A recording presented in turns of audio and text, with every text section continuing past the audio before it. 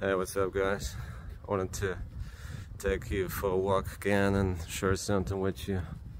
So uh, this past week, Copenhagen Fashion Week was around.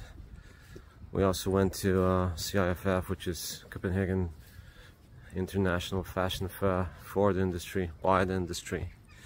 And I gotta say, I've been I've been struck by the abundance of, of knowledge, the abundance of new amazing ideas uh, it was pretty clear that there's that there's amazing, really amazing and knowledgeable people who have all the capacity to do amazing stuff in this world.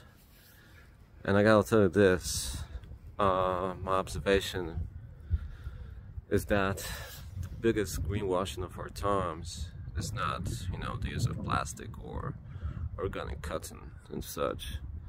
The biggest you know, the biggest um, lie is that the industry doesn't have the power to change it. And, you know, the fact that it's hiding behind the consumer, the, the consumer's shopping habits, the habits they've been, you know, themselves creating for the past decades.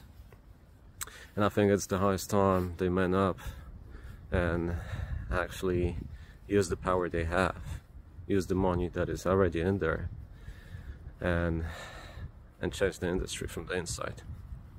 And that's the biggest greenwashing in my opinion. Let me know what you think. And I'll see you in the studio. Peace